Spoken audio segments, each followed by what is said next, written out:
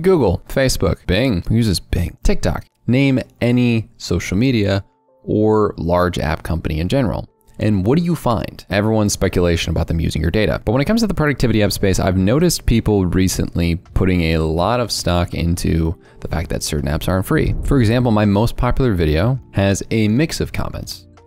About this one, Mark says, I've had this connection for a while and it's priceless. I don't even think about where to add things anymore. It just does it.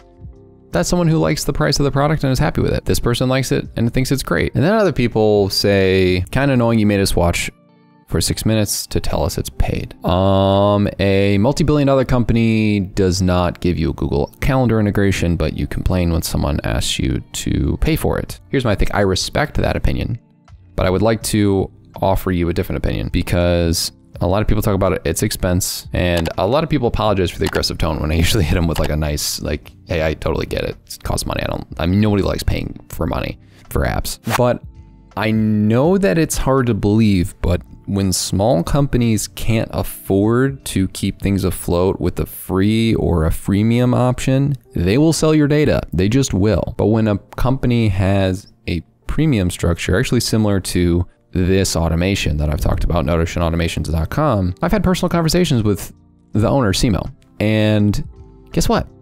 I know for a fact Simo's not going to sell your data because he actually is just not going to change his pricing model from it being paid because he doesn't want to do that. He, he ends up copy pasting people about like, here's why I'm not going to make it free. Because companies that are small always resort to this. They do it, or not always, but they do it behind closed doors more often than we'd believe. Free is not free. I hate to burst the bubble for you, but I work in digital marketing and I am a paid search manager at a large agency. And in my prior job, and in the current one, like I have used customer lists. So customer list data is something that comes from people converting on various different website entities, whether it be from our own data or third party data. And that third party data can be sold around behind closed doors. People always question things like, is my data being used? Yeah, it's being used for marketing purposes.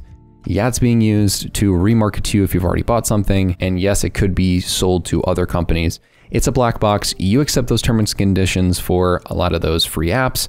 And this is what happens. My question is this from a morality standpoint, would you rather your data be used or would you rather, for money that you're never going to get, unless like certain politicians have, have claimed that they want to prevent that and they want to like put a tax on that selling of transactional data, which is often untaxed and never gets back to the consumer, or would you rather just have to pay for it upfront? It's up to you. I'm just giving you information that apps like Notion Automations is never going to sell your data. So like, don't be upset because it's it's not the fact that they're not making it free because they don't want to give that the option. It's so that they never have to shut down the application, one, because a lot of free apps end up dying, and then you have all this sunk cost. You have a ridiculous amount of sunk cost on things that die. Like, remember Friday? I made a video on that like a month and a half before it ended up closing, and then when I made the video drop two days before it ended up dying, people were like, uh, this website's going away in two days. Did you notice? And I'm like, no, I made this video nearly two months ago. And I'm not saying Friday is a perfect example, but it is an example of one as I actually think the pricing structure on Friday was fine. Pretty sure it was a premium product. But more free apps go out of business than you would care to like to see. I don't like seeing it, but I also don't like seeing people use your data.